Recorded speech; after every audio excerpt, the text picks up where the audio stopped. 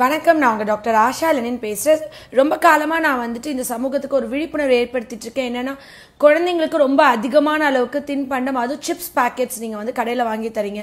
அது வந்து கிட்னியை பாதிக்கும். ஏன்னா நார்மலாக நம்ம சாப்பிட்ற உணவில் இருக்கிற உப்பை விட பதினஞ்சு மடங்கு ஒரு நிமிஷக்கா பதினஞ்சு மடங்கு உப்பு வந்து அதிகமாக இருக்குது ஃபார் எக்ஸாம்பிள் நீங்கள் வந்துட்டு இப்போது வீட்டில் கூட வந்து நம்ம செஞ்ச ஊறுகாய் வந்துட்டு உப்பு வந்து அந்த காலத்தில் கம்மியாக போடுவாங்க.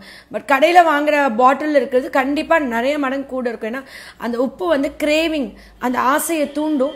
அண்ட் அதில் அது மட்டும் தான் கலக்குறாங்கனாலும் நம்மளுக்கு ஷுவராக தெரியாது. என்னோட கிளினிக்கில் ஒரு பதிமூணு வயசு பொண்ணு ஆம்னி வேனில் ஸ்கூல் பஸ் போயிருக்கா காலை ஸ்கூலுக்கு போயிருக்கா. காலையிலையும் சாயந்தரமும் அந்த ஆம்னி வேன் டிரைவரே வந்து சிப்ஸ் விற்றுருக்காரு பத்து ரூபா காலையில் ஒரு பாக்கெட் சாயந்தரம் ஒரு பேக்கெட் பத்து ரூபாய்க்கு வாங்கியிருக்கா. அந்த பொண்ணுக்கு ரெண்டு கிட்னியும் ஃபெயிலியர் ஆகி உப்பு வந்து இரநூத்தி முப்பது அதாவது நாற்பது இருக்க வேண்டிய உப்பு அளவு ரத்தத்தில் யூரியா அளவு இரநூத்தி முப்பதோடு என்கிட்ட கிளினிக் கூட்டிகிட்டு வந்தாங்க அந்த பொண்ணுக்கு ரெண்டு கிட்னியும் பாதிச்சுன்னு சொல்லுமோ அவங்க அப்பா நான் ரொம்ப கஷ்டத்தில் விவசாய வேலை பார்க்குறேன். நான் எப்படி என் பிள்ளையை காப்பாற்றுவேன்னு தலையை அடிச்சுட்டு அழுதாங்க. ரொம்ப வேதனையாக இருந்தது. என்னென்னா அதெல்லாம் வந்து நம்ம க்யூர் பண்ணி மெயின்டைன் பண்ண தான் முடியுமே தவிர பரிபூர்ணமாக சரியாயிருச்சு. இனிமேல் வைத்தியமே வேணாம் அப்படின்னு சொல்லி அனுப்ப முடியாது. ஒன்று அவங்க வந்து மருந்து சாப்பிட்டே இருக்கணும் ஹோமியோவில் இல்லைனா டயாலிசிஸ் ஆங்கில மருந்தில் போய் கிட்னி மாற்றணும் கம்ப்ளீட்டாக க்யூர் பண்ண முடியாது. அதில் இர்ரிவர்சபிள் டேமேஜ் ஒரு தடவை கிட்னி ஃபெயிலியர் ஆச்சுன்னா ஃபெயிலியர் தான். அது வந்து நம்ம திருப்பியும் பழையபடிக்கு நார்மல் பண்ண முடியாது. வாழ்நாள் தான் நீட்டிக்க முடியும். ஒரு அஞ்சு வருஷம் பத்து வருஷம் எக்ஸ்ட்ரா பண்ண முடியும். ரொம்ப ஆரம்பத்திலேயே கிரேட் ஒன்னுக்கு முன்னாடி ரொம்ப லைட்டாக இருக்கும் போதே வந்துட்டா கண்டிப்பாக அவங்கள காப்பாற்றிடலாம் அந்த மாதிரி இன்னைக்கு ஒரு இருபத்தி மூணு வயசு ஒரு பொண்ணு தான் நான் காலையில் இன்றைக்கி முத ஆளாக கிளினிக்கில் பார்க்குறேன் ரொம்ப ஹெவி ஹார்ட்டோடு சொல்கிறேன் ஏன்னா டெய்லி வந்து சிப்ஸ் பேக்கெட் தான் சாப்பாடா? கடையில் வாங்கி அதுதான் சாப்பிடுமா? என்னமோ பேர் சொல்லுது அது பேர் கூட எனக்கு என்னன்னு புரியல. அத்தனை வெரைட்டி ஆஃப் சிப்ஸ் இருக்குன்றதும் எனக்கு தெரியல. இருபத்தி மூணு வயதாவது ரெண்டு கிட்னியும் பாதிச்சு கிட்னி ஃபெயிலியரில் இன்னைக்கு அவங்க கூட்டிகிட்டு வந்திருக்காங்க. அவங்க அப்பா அவ்வளோ ஒரு சாதாரண ஒரு ஏழை குடும்பத்தில் ஒரு வைத்தியத்துக்கு செலவழிக்க கூட முடியுமான்னு தெரியல. இப்போ தான் திருமணம் ஆகிருக்கு மூன்று ஆண்டுகள் தான் ஆயிருக்கு. அவங்களுக்குன்னு ஒரு லைஃப் இருக்குது குழந்த இருக்காப்பா? இன்னும் குழந்தை இல்லை. இப்போ தான் வாழ்க்கையே துவங்க போகிறாங்க நான் என்ன கேட்குறேன்னா நீங்கள் வந்துட்டு எதுக்கு அவ்வளோ சிப்ஸ் வாங்கி கொடுத்தீங்க? அதான் வாங்கி சாப்பிடுதுன்னா அதுக்கு ஆரோக்கிய நீங்கள் உருளைக்கிழங்க சீச்சு வீட்லேயே பொறிச்சு சாப்பிட வேண்டியது தானே கம்மியாக உப்பு போட்டு. நம்ம வீட்டில் சாப்பிட்ற சிப்ஸ் மாதிரியாக இருக்காதுல்ல? நம்ம வீட்டில் உருளைக்கிழங்க சீச்சு நீங்கள் அதில் லைட்டாக உப்பு தூவி அதை சாப்பிடலாம்ல. ஏன் நீங்கள் போய் கடையில் அந்த சிப்ஸ் பாக்கெட்டை வாங்கி தான் சாப்பிடணுமா?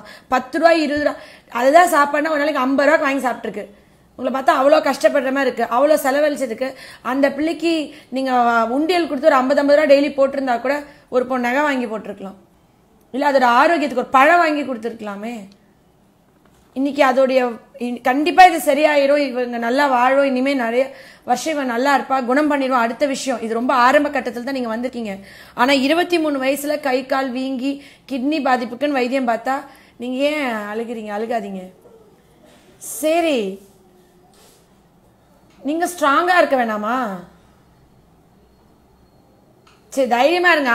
இவ வந்து உங்க மக கிடையாது. என் பொண்ணு சரிங்களா? என் மகளுக்கு நான் வைத்தியம் பார்த்தா என்ன மருந்து கொடுப்பனோ எப்படி வைத்தியம் பார்ப்பனோ அழுகாதப்பா. அதே மாதிரி தான் நான் இவளுக்கும் பார்த்து இவளையும் நான் குணம் பண்ணுவேன். சரிங்களா? ஆனால் இவள மாதிரி லட்சக்கணக்கான குழந்தைங்க சிப்ஸ் பேக்கெட் டெய்லி சாப்பாடு மாதிரி வாங்கி கடையில சாப்பிட்டுட்டு இருக்காங்கல்ல அவங்க குழந்தைங்கலாம் கிட்னி ஃபெயிலியர்னால பாதிச்சிட கூடாதுன்றதுக்கான தான் இந்த விழிப்புணர்வை நான் ஆக்சுவலி இன்னைக்கு போடுறேன். இது பல ஆயிரம் குழந்தைங்களை காப்பாற்றணும் உங்கள் மகா என்னோட மகளா நினைச்சு நான் வைத்தியம் பார்ப்பேன். கம்ப்ளீட்டா சுகம் பண்ணி அவன் நிறைய வருஷம் நல்லா அவளை பிள்ளை குட்டி பேரன் பெத்தின்னு இருப்பாங்க. நீங்க கண் கலங்காதீங்க. நீங்க தைரியமா இருங்க. ரொம்ப ஆரம்ப ஸ்டேஜ்லயே வந்துட்டீங்க. சரியா சரிங்களா? உங்க அப்பா எவ்வளவு கதறி அழுதுட்டு இருக்காரு பாரு. ஒரே பொண்ணு அவ்வளோ செல்லமா கேட்கறதெல்லாம் வாங்கி தரலாம் ஆனா அது பழங்கள் காய்கறிகளா இருக்கணும். ஆரோக்கியமா இருக்கணும். இந்த மாதிரி அந்த குழந்தையோட எதிர்காலத்தை நினைச்சு நீங்க பண்ணணும். சரியா? நீ கவலைப்படாத. இந்த வீடியோ அவ்வளோ பேருக்கு நம்ம புண்ணியம் சேர்த்துறோம் எத்தனை ஆயிரம் குழந்தைங்க வாங்கி வாங்கி வாங்கி சாப்பிட்டு எவ்வளோ பாதிச்சு வராங்க தெரியுங்களா? இனிமே இந்த மாதிரி யாரும் பண்ணக்கூடாதுன்னு இந்த மாதிரி நம்ம கண்ணீர் விடக்கூடாது. ரத்த கண்ணீராக விட்டுட்டு இருக்கார் ஒரு அப்பா.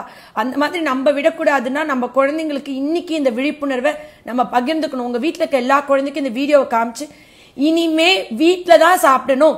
கடையில் வாங்கி எந்த பாக்கெட் ஐட்டம்ஸும் சாப்பிட மாட்டேன்னு சத்தியம் பண்ணுங்க.